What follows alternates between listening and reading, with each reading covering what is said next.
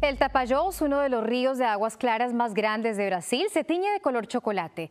El cambio se debe al lodo y al vertido de unos 7 millones de toneladas de sedimento de la minería ilegal de oro, esto según los defensores del medio ambiente. Durante su actividad derriban árboles, cavan pozos y utilizan barcazas de dragado que succionan el lodo y el agua en busca de este preciado metal.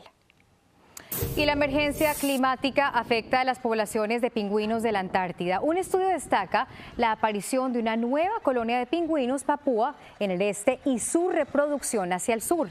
Por el contrario, en el oeste ya se han registrado colapsos en algunas poblaciones de estas aves. Se espera que la parte oriental pueda resultar un refugio seguro para los pingüinos Adelia. Y un proyecto llamado Plant Matters ayuda con dos grandes retos a las personas sin hogar y también los desechos de plástico. La iniciativa se desarrolla en Savannah, Georgia, desde hace más de dos años con voluntarios que cortan bolsas de plástico y luego las tejen haciendo colchonetas, sábanas, mantas y almohadas para los desamparados.